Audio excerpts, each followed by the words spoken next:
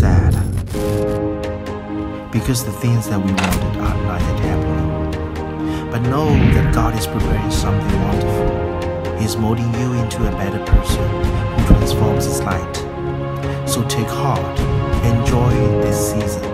In the right time, in the right place, and with the right people, you will receive His abundant love. And when that day comes, you will realize that the time you spend for waiting is never a waste, is always worth it.